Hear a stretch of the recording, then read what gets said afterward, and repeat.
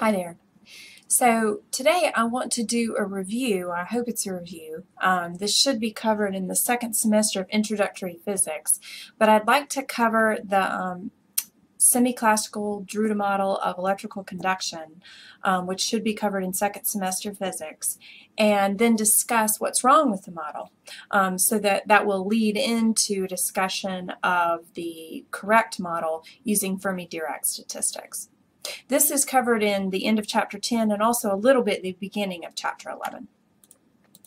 So to discuss metallic bonding, the model of metallic bonding goes like this. You have a lattice, a regular array of atoms. And each one of these metal atoms donates one, two, three, however many electrons it would like, um, which is favored by what the valence structure of the uh, atom looks like. It donates those electrons to the sea, okay, an electron sea. So then what you're left with is a, um, a lattice of ionic cores, and then these electrons that are donated move freely about the lattice. And because you have these positive lattice um, sites surrounded by this negative um, sea of electrons, you have on the whole a neutral system. Um, the positive cores are shielded from the mutually repulsive Coulomb forces by these free electrons. Now these free electrons can go anywhere and that makes these bonds non-directional. Okay, so this is unlike um, the covalent bonding and a little bit more like ionic bonding in that sense, that it's non-directional. Now there's a lot of interesting properties that come from having this sea of electrons. First of all, the fact that you have these electrons that are free, that can move around the lattice wherever they would like, that makes them very good thermal and electrical conductors. And they also lead into some of the properties of metals that you might be familiar with, such as the ductility and the malleability of metals. It's easy to draw them into wires, it's easy to deform them, um, and that's because when the metal is, say, for example, hammered on, the overall composition of the structure isn't harmed. The protons, the, the ionic cores, they may be rearranged, that may move around, but the sea of electrons keep that metal intact. And also it leads to the luster and shininess of metals. Those free electrons can absorb the photons um, in the sea, and so that makes them opaque instead of translucent or transparent. But also it causes them to bounce back light at the same frequency that the light hits the surface, and so it looks shiny. Okay, so those are some of the properties of metals. That's the general model. Now to get more into the specifics, especially regarding the electrical current and the conduction, um, we're going to discuss these charge carriers moving through a conductor. And this is the Drude model of conduction. Now when they first came up with these models, um, it, they wanted to be sort of versatile in whether the charge carriers were, you know, positive charge carriers or negative charge car carriers. Um, so remember that thanks to Ben Franklin, the charge carrier in a circuit is said to be positive. So this model shows a positive charge carrier, and it might be a positive charge carrier, for example, if you're doing electrochemistry, where you have ions flowing through a solution. So it's not entirely incorrect. For a metal, though, remember that the charge carriers are these free electrons. Okay, so anyway, we're going to say that we have a wire, all right? Uh, a cylindrical wire is shown here, um, your cross-sectional area there is a circle, but whatever, it doesn't have to be. Anyway, you have some amount of charge that's passing through some cross-sectional area A in some amount of time delta t. And in that case, then your current is defined as delta Q over delta T, where delta Q is the charge and delta T is the time. That makes the SI unit of um, current the amp, which is one coulomb per second. It's a very large unit of um, current, as you might know if you're familiar with messing with, uh, with circuits. Anyway, you have these charged particles. They're moving through that conductor with a cross-sectional area. Let's just say that your conductor can give or donate a certain number of charge carriers per unit volume of the material. This makes sense if you think about it in terms of the model that we discussed with the atoms donating one electron, say, per atom. And you have a certain number of atoms per unit volume, and so that means that you have a certain number of charge carriers per unit volume. We're going to call that charge carrier density N, okay? And it's basically just got units of inverse volume or inverse meter cubed um, if you want to put it in SI units. Now, that would mean that the total number of charge carriers would be the number of charge carriers per unit volume multiplied by the volume. And for our little cylindrical wire here, that volume would be the cross-sectional area times delta x, where delta x would be the length of the wire that it travels through in some time delta t. Okay, so you have then the total charge is the number of carriers times the charge per carrier Q right? So you have your total number of carriers times your charge per carrier. That gives you the total charge, big delta Q, that goes through that uh, cross-sectional area in our time. And so big delta Q is equal to NA delta X times little q. Now your drift speed, which we're going to call V sub d, is the speed at which the carriers move in the wire. And so V sub d would be the length of the wire that it moves through delta x divided by the time delta t. And we could rearrange that so that delta x is equal to V sub d times delta t. Now we're going to rewrite our charge delta q, our total charge delta q. And if we do that, plugging in for our expression for delta x, then we have NA V sub d delta t times q. And then we plug back into our expression for the current, which remember was big delta Q over delta T, and we have NQ V sub D times A. All right? So that gives us our current. Now, just to put this into an example problem to help you cement it into your head, let's just um, put it in terms of some numbers that might feel good to you. All right, so we have a typical wire for lab experiments is copper. You probably know that copper is a great conductor and it gets used in a lot of wiring that you might find in a home. Let's say that the wire has a radius of 0.815 millimeters and calculate the drift velocity of the electrons in the wire when the current is 1 amp, assuming one free electron per copper atom. The density of copper, you can look it up, 8.93 grams per cubic centimeter, and the molar mass of copper is 63.55 grams per mole. So plugging into this formula that I defined in a previous slide, I is equal to NQA V sub D. The charge per carrier is the charge on an electron. The magnitude of that charge is 1.602 times 10 to the minus 19 coulombs. The problem told us that the current was 1 amp, so we'll plug that in. The cross-sectional area would be the area of a circle that has the um, radius of the wire. So that would be pi r squared, which is pi times 0.815 times 10 to the minus 3 meters squared, which gives us a cross-sectional area of 2.1 times 10 to the minus 6 square meters. Now we're going to solve for n. We have to do a unit conversion here. Basically we've got the density of the wire in grams per centimeters cubed. The first thing is to change that centimeters cubed into meters cubed. We've done that here. There's 100 centimeters and 1 meter and then we remember we have to cube everything. Okay. Now we've got to make a unit change from the number of grams into the number of conduction electrons. So we're going to do that reading off the periodic table and getting the molar mass.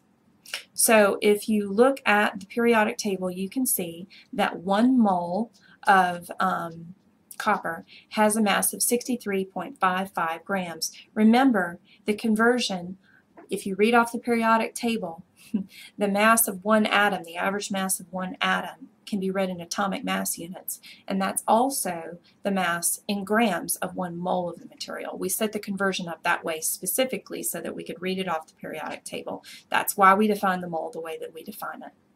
Okay, anyway, so we can do that conversion. We can get rid of grams, convert to moles, and then we just have to remember that 1 mole is 6.022 times 10 to the 23rd atoms. Now I didn't put this in the equation because copper only donates one electron for every atom, but there's an understood one electron per atom on the end there.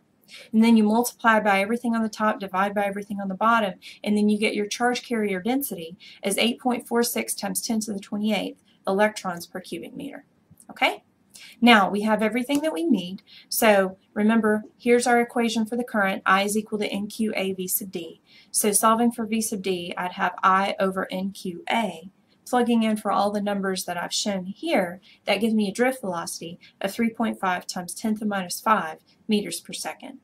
Now it's a relatively slow drift, drift velocity. Remember we covered in second semester introductory physics that the drift velocity being slow doesn't mean that that's how fast the current moves through the wire necessarily. You've got a current moving through, but that's because the field is applied. The field is applied through the whole wire pretty much all at once, anyway at the speed of light in the material. And then that causes all the charge carriers in the wire pretty much to start moving instantaneously. So if you flip your white light switch, the light flips on pretty much instantaneously as soon as you flip it because the field is established everywhere in the wire almost all at once.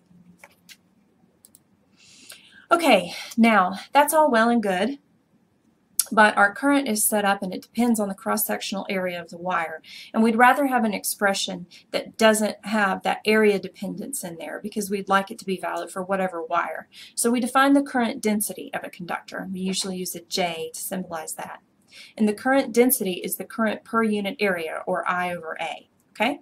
So if we use our expression for I and divide by A, then that gives us that J is equal to NQ V sub D.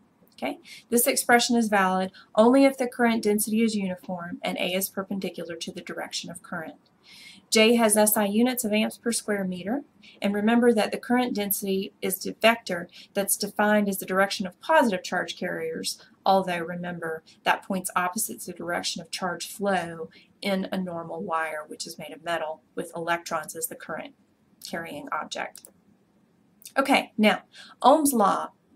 Um, here's a picture of uh, George Ohm here on the right. Um, Ohm's law states that for many materials, metals, things like that. The ratio of the current density to the electric field is some constant. That constant we defined as the conductivity, usually indicated by sigma. And it's independent of the electric field that produces the current. It depends on the material, okay? So the conductivity is a material property. So most metals obey Ohm's law. So you can write that mathematically as J is equal to sigma E, where E is your electric field, and J is your current density, and sigma is your conductivity. And if a material does obey Ohm's law, it's said to be ohmic. Now, the electrical conduction model that describes Ohm's law and sort of explains it is the Drude model of electrical conduction. It's a semi-classical model. And since it's semi-classical, it will ultimately fail. It was conceived before quantum mechanics. However, it was a triumph in that it kind of qualitatively explained a lot of the things that they saw about metals. All right, so in the Drude model, you can treat Treat the conductor as a regular array of atoms and a collection of free electrons. I should say ions and a collection of free electrons. We already talked about that. And in the absence of an electric field, you've still got your conduction electrons moving around. It's important to understand that they're never still. Okay, we'll see later that your conduction electrons actually move at very, very high speeds, even at zero Kelvin. But the thing is, you don't have a net current flow because the motion is random. It's just as likely to be moving left as right, forward as backward, and up and down, okay? So the net motion is zero in the absence of an electric field. When an electric field is applied, though, your conduction electrons are given that net drift velocity. What we're going to assume is that the electron's motion after a collision is independent of its motion before the collision, and also that any excess energy acquired by the electrons in the field is lost to the atoms of the conductor when the electrons and the atoms collide, causing the temperature to increase. So this is where the heating comes from in a wire um, as current is passed through it. Remember that that is a process which makes your wire really, really hot. Okay, so you have this sort of semi-chaotic motion of these electrons bouncing around all over the place. They have a lot, a lot, a lot of collisions, okay? And these collisions cause the drift velocity to be relatively low. We saw in the previous problem, about 10 to the minus 5 meters per second, something like that. Even though the fields, if the electron didn't have stuff to run into, would cause the electrons to really zip, okay? Okay, so Let's put this in terms of some semi-classical physics here. We have the force experienced by an electron in a field is F is equal to QE, all right? If you set QE equals MA, then you can solve for the acceleration, and the acceleration would be QE over M. Here, from here on out, if I say M, it's the mass of an electron, okay? Now, if you used um, those kinematics equations, then you would have the final velocity is equal to the initial velocity plus the acceleration times the time. Plugging in for the acceleration, you have the initial velocity plus qe over m times time. Now, since the initial velocities are in some random direction, if you took this average value, the average value would be zero. So we're just going to set that initial velocity in these equations from here on out equal to zero. Let's say that the average time that an electron has in between all those crazy collisions that it makes, we're going to call that tau, okay? That's the mean free time. The average value of the final velocity would then be your drift velocity, okay? And your drift velocity would be equal to qe tau over m. Now, this is also related to your current density, right? So since we have J is equal to NQ V sub D. Now we can plug that V sub D expression that we just derived into our equation for J. And then we have NQ squared E over the mass of the electron times tau. Remember that N is the number of charge carriers per unit volume. Okay, now if you set this expression that we had for J, the NQ squared E um, tau over mass of the electron, and you set that equal to sigma E, then you can solve for the conductivity sigma and you get n q squared tau over the mass. Now remember, sometimes we speak in terms of the resistivity of the material. The resistivity is the inverse of the conductivity. So if you want an expression for the resistivity, it would be the mass over n q squared tau. All right? Now note, this is a material property. It doesn't depend upon the strength of the field. All right, so you're going to have a certain conductivity, say for copper. You'll have a different one for silver, um, just because the densities in the material are different. The number of electrons that it donates to the sea might be different, things like that. Now this actually is a pretty successful model. It explains qualitatively, but not quantitatively. We'll talk about that in a second.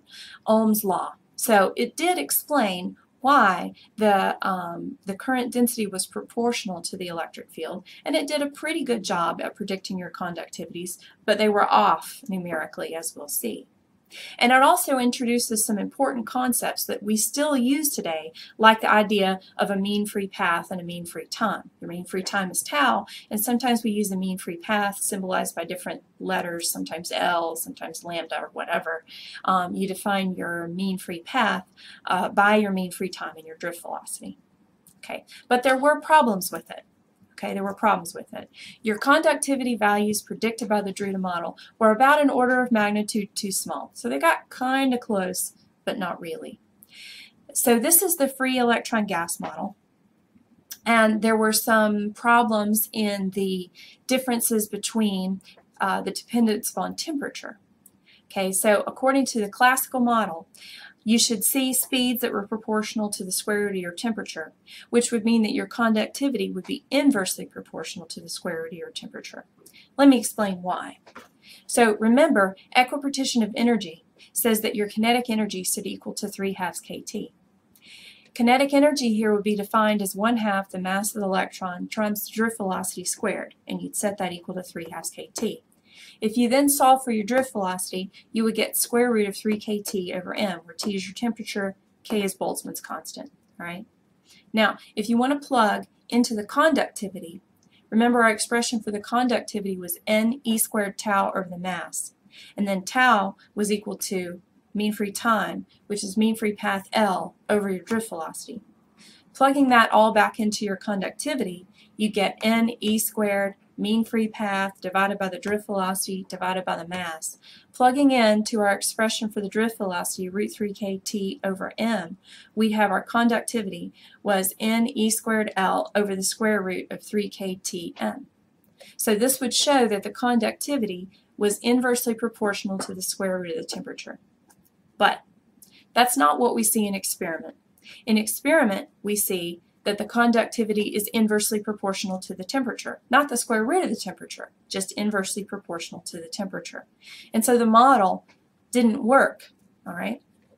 Another big problem with the model was that it gave incorrect values by the, for the heat capacity. Incorrect by a lot, okay? So if we go back to that equipartition of energy, then you have three degrees of vibration in a three-dimensional solid. So the model goes like, you have these little atoms that are connected by these springs, right? And the springs go up, down, left, right, and side to side, Okay, so that's three directions, three degrees of freedom for the vibration, which gives you six total degrees of freedom. Remember that we said that your kinetic and your potential energies each act as a degree of freedom for one direction of vibration, and then three times two is six. Okay, so for your oscillation, you'd have six times 1 half r, which gives you 3r for the oscillation. And then um, for your translation of your electrons, you'd have another 3 degrees of freedom um, for the electrons to be able to move in x, y, and z. And that would give you 3 halves r for the translation of the electrons in three dimensions, which would give you a total heat capacity that should be proportional to 9 halves times the gas constant r. That's what the theory would show. The reality is that it's way, way smaller than that, about 0.02 times R. So the models failed. Um, it failed in some really important ways, and it took Fermi-Dirac statistics to save it, and that'll be covered in the next lecture.